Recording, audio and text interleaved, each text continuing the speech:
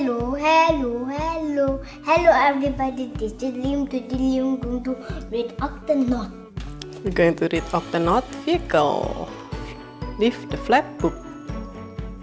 The octopod. Which one is the octopod? Yes, one. The octopod is the underwater headquarters of the Octonaut. It is a mobile home that can travel around the ocean and contain a fleet of Gups. The Octonaut, the, the octopod hatch lead to the launch bay. And then this one, the octopod even has a game pod. Next page. Gup A.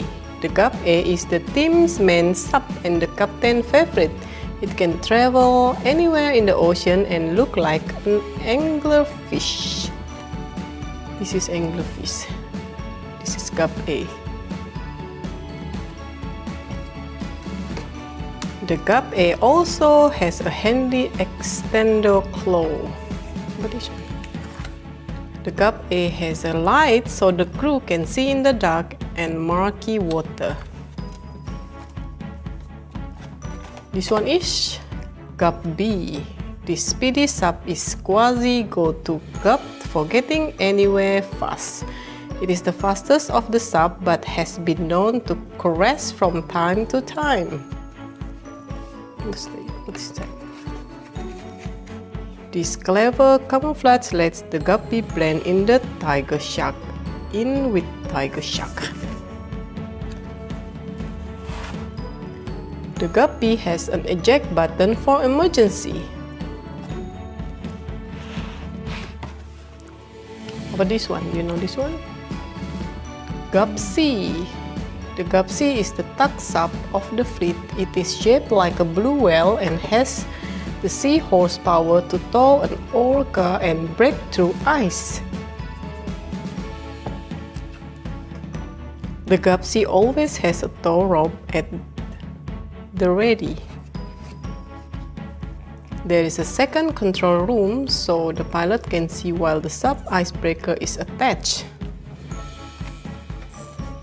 GUP-D the GUP-D is a multi-purpose machine. It has two modes, grab and mantra ray.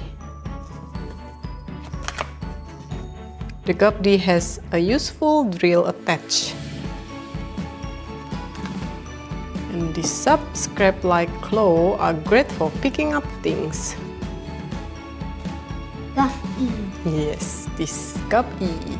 The small GUP is mostly used as a research sub but can transform into an ambulance in a, in a fish first aid emergency. The Octonaut logo changes into the medic symbol when there is an emergency. The ambulance Gup E has a flashing light. This is the ambulance. Gup F. This is the first Gup twig ever built.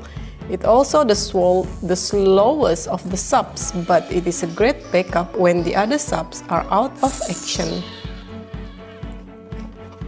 The Gup F uses pedal power to travel around. And unlike the other sub, this Gup has only a metal frame, so the crew need to wear their diving helmet while using it. That's the end.